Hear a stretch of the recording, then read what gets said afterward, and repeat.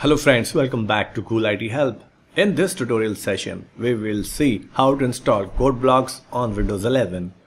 Also, we will see how to create, compile and run C and C++ program inside the code blocks. Let's begin. Open your favorite browser, go to the address bar and type code blocks download. Press enter. After that you will see some results. Here you have to choose the first one or you can see www.codeblocks.org and you will see the download page. Here just click on this link binary release and then you will see the page where the actual downloads links available. When you come to this section, you will see there are several downloads options available. We are going to proceed with this option. This option comes with the MinGW built-in compiler, right? If you install this setup, then you don't need to separate installation of MinGW compiler, right? In front of that, click on this link. And soon your downloading will begin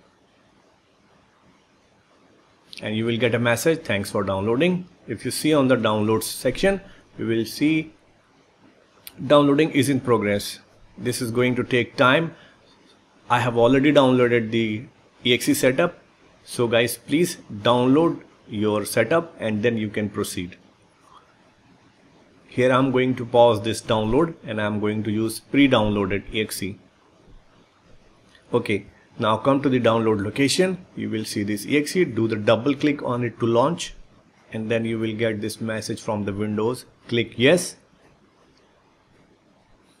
and this splash screen will appear and this is the very first window for the installation. Click next. Click on the I agree button and these are the components which are going to install. You can see at the last component this is the MinG compiler suite which is going to install by default with this setup. This is the destination folder. You can see the space required is 1.5 GB. If you have a sufficient space, proceed. Otherwise, you can change the location for the installation. Click next and the installation will begin. Here we have to wait for the completion of this installation progress bar. Once the installation is finished, you will see a message. You can simply close, click next and you can launch the code blocks. This is the home screen of the code blocks right? Let's create a simple C and C++ program. Go to the File menu, go to the New and then select Project. Once you click the project, you will see New Project window. Here we have multiple options to create different kind of projects with different programming languages. Also we have the Arduino, Java applications as well.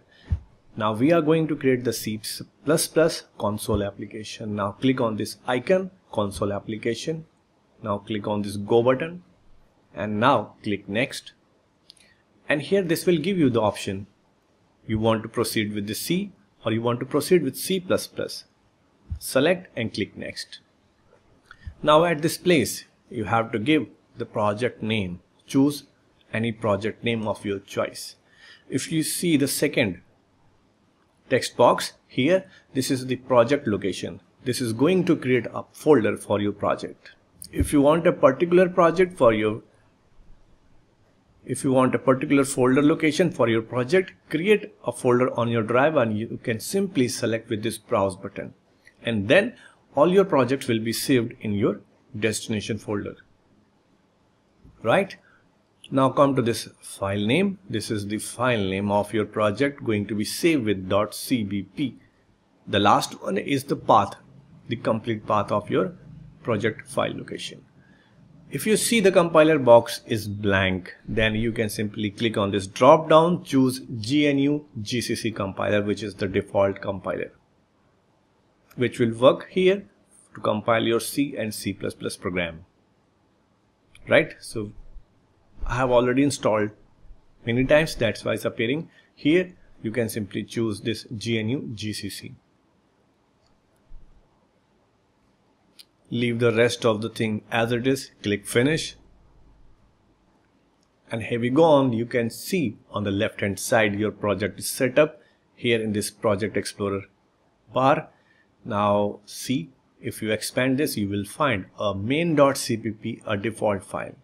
This is a small program going to write, going to display hello world on the console. Let's modify this program. So I will modify this file little bit. I will say hello cool IT help. And then I will save this file put press ctrl s and now file is saved. To run this file we have to build this file first. We have this icon to build. Also you can choose the top menu option like here the shortcut key is ctrl F9 to build simply click build and then you will see some activity here in this results tab. You can see there's no error no warning. Everything is fine. We are ready and we are good to go to run this program. To run this program again you have to go to the build menu and there's an option for run file. Also we have an option for the compile but you can simply choose build or run or you can simply do build and run together with the key press F9 right so we have already built the program we can simply run it choose this option when you click you will see a black and white window will open and here you will see the output of your program. This program is executed successfully without any error. Okay, now to exit this, you have to simply press any key from the keyboard. And this will be closed. So friends, this is overall the process of download and installation. Also, we have seen how to run C++ program here in this code blocks. I hope you guys found this tutorial relevant and useful. Please hit the like button to appreciate and you can subscribe to learn more. And for now, thanks for watching.